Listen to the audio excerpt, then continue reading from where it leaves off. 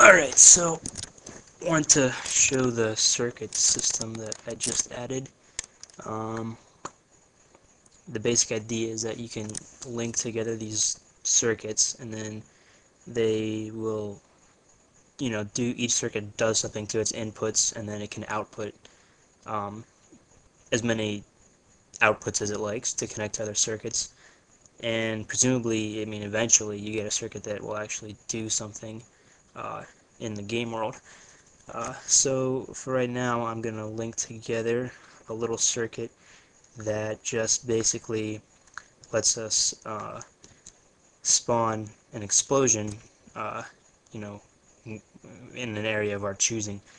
Uh, so to do this, the first thing I'll put in is like what I call the XY mouse pad, and it's not so much a circuit as it is like an input device uh, that basically takes you know the location of this little dot, and that's it'll output it the X coordinate of that here, the Y coordinate of that, uh, right here. And this first output is just uh, either true if I'm clicking like I am right now or false if I'm not. Uh, so that way you know it, it, outputs the X and Y at all, at all times. And but we can also find out if, if the user is actually you know doing something. Um, alright so I linked together this earlier and hopefully I can remember how I did it without taking too much time um, Alright, well the first thing I know I need to do is, not, not math, arithmetic. I want to um, sort of pre-multiply these x and y coordinates because right now they default to just negative 1 to 1 and that you know this whole area and the game world is way bigger than that so we want you know a little more than that and I think the way the easiest way to do that would be um, we can uh, where is it? Basic generator. So we want a, selectable integer. I'm gonna put. I'll show you what I'm gonna do. I'm gonna put two of them down, just because it's kind of cumbersome to try to go up really high with these. I'm just gonna take two and multiply them together to get up to 100. Uh, set them each to 10. It makes it considerably easier than trying to actually, you know, go up to 100 with one.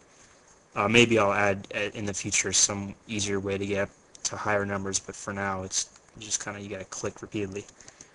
Okay, so I have that. So now this essentially multiplies these two numbers together and outputs it right here. So um, and we want to multiply 100 to both of these inputs, so the easiest way to do that is to go to a duplicator chip. You can have as many outputs as you want, but we just need two. Let's put that there. Go back to the wire tool attach that to these wires. Alright, so kind of it's kind of a they're kind of right over each other, but that's right.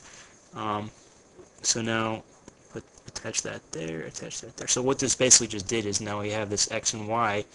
So so let's say I put this right here. That means the x coordinate's negative one. That's outputting from here. Or if I put it over here, the x coordinate would be positive one. But since I have these multipliers, it's not going to be, you know, positive 100, which is good because positive 100 in the game is only like maybe over here or something. It's not that far away. Um, okay, so what this accomplished is we now can specify location. Um, now the question is, when do we want to create this explosion? And the answer is, we want to create it only when the user starts to click, not on every single you know frame that he has the mouse down. We just want it just once. Then if he clicks again, one time more. It's just one, one, not a continuous stream.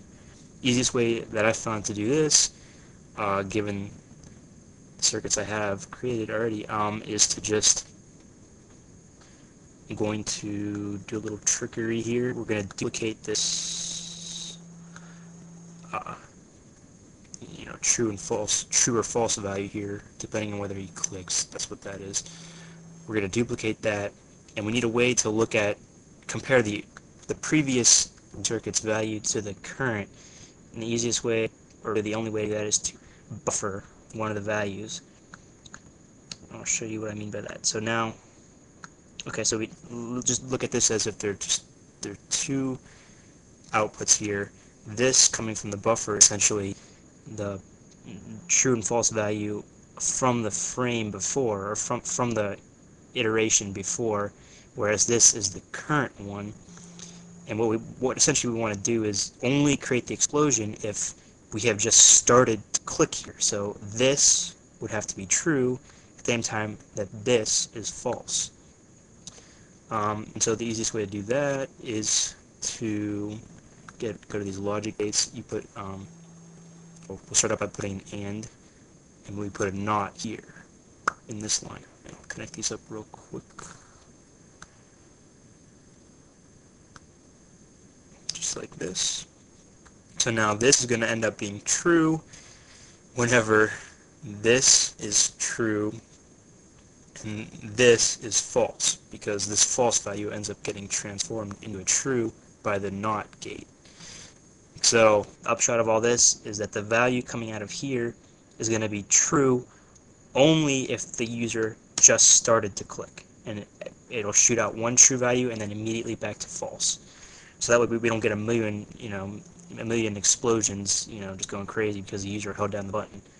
And so now real quick we will spawn the object explosion, what we want. Um, we're just going to link these up.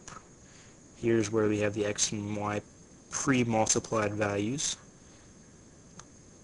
And we will link up the... Okay, it should work. And we have it. As you can see, uh, depending on where I click, it is, you know, it's the location is changing. Um, to make it more pronounced, I'll bump these up to, instead of 100, it's going to be times 400. So now, yeah, you can see, you know, clearly I have control of where it is. So that's just a simple circuit. Uh, believe me, even with the stuff I added so far, it's basically simple things. You can do, you know, tons of stuff. You can be really creative with it, but and I'm still, I still have a lot more to add. So, hope you enjoyed that. I'm sure it's kind of nice being able to talk. It makes it easier to explain what's going on. So, probably have more videos with my actual voice. And anyway, yeah, hope you liked it. Keep watching more videos. Should be, I'm hoping this game will be out by the end of the year, but it know, could take longer. We'll see. So, thanks for watching.